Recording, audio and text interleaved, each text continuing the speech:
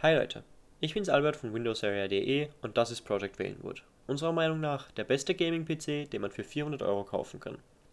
Bevor ich auf jede Komponente genauer eingehe, erkläre ich nochmal die Beweggründe für den Bau dieses PCs und für wen er eigentlich gedacht ist. Also, ich werde immer wieder gefragt, was denn ein guter Gaming-PC ist. Und darauf muss ich eigentlich fast immer zwei Gegenfragen stellen. Was soll er denn können und wie viel darf er kosten? Ohne konkrete Angaben heißt es dann oft, naja, günstig soll er sein. Damit waren in den meisten Fällen rund 400 Euro gemeint und unser Project Valenwood bleibt da auch darunter. Nun aber wirklich zur Hardware.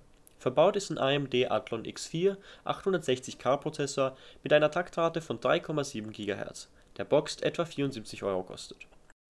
Das Motherboard besitzt entsprechend einen FM2 Plus Sockel und ein A68HM Chipset und bietet zweimal USB 3.0, was es vor allem von anderen Boards unterscheidet. Ansonsten ist alles andere typisch für ein Micro ATX Mainboard, auch der Preis von 45 Euro geht in Ordnung.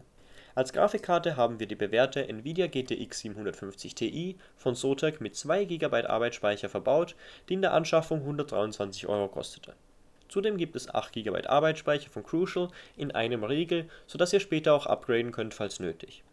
Offensichtlich habe ich den Fehler gemacht, 2x 4 GB zu kaufen, aber aus diesen lernt man bekanntlich. Der Speicher kostet so etwa 32 Euro. Die Festplatte hat eine Kapazität von 1 TB und besitzt eine Drehzahl von 7200 Umdrehungen pro Minute. Sie kostet uns 45 Euro.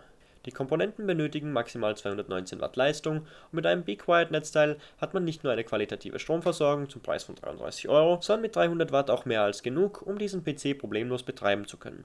Beim Gehäuse haben wir uns für eine rote Sharkoon Case entschieden, weil sie einerseits sehr nach Gaming aussieht und dank einem schönen Sichtfenster auch Einblicke auf die Hardware gewährt und andererseits auch mit relativ vielen Lüftern ausgestattet ist. Der Preis von 38 Euro geht durchaus in Ordnung. Stunde der Wahrheit. Was kann dieser PC tatsächlich? Getestet haben wir unterschiedliche Games, darunter GTA 5, League of Legends, Counter-Strike Global Offensive und Project Cars, die in den folgenden Sequenzen mitsamt der verwendeten Einstellungen und der durchschnittlichen Framerate zu sehen sind. Vorher noch ein kurzer Hinweis. Aufgenommen wurde mittels Fraps in Full HD, allerdings via Steam In-Home Streaming über einen anderen PC, weswegen die Qualität nicht ganz dem entspricht, was wir am Monitor zu sehen bekommen.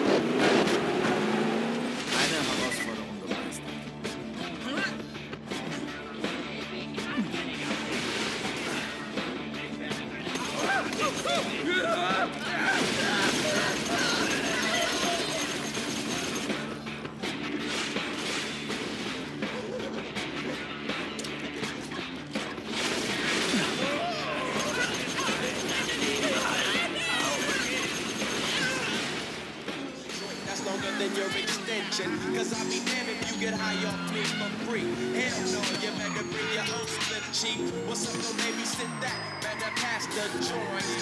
Cause you know you got asthma.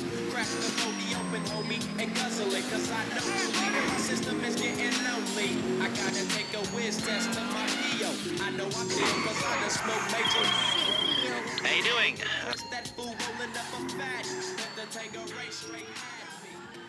Wenn Project Valenwood euren Wünschen entspricht, dann könnt ihr sämtliche Komponenten direkt bei unseren Kollegen von Notebooksbilliger.de kaufen und zwar zum Preis von rund 390 Euro. Ihr bekommt dafür genau dieselbe Hardware, die wir im Einsatz haben und einen PC, der im Fachhandel gerne doppelt so teuer verkauft wird.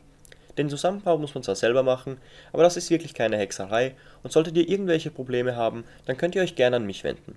Mein Wunsch wäre nämlich, dass möglichst viele Nutzer diese Stärke der PC-Plattform erkennen und auch Laien beginnen PCs zusammenzubauen, denn es ist in der Regel einfach billiger und auch besser. So, das war's auch schon von mir und von unserem Project Valenwood. Ich hoffe, es hat euch gefallen. Vielen Dank fürs Zusehen und bis zum nächsten Mal. Tschüss.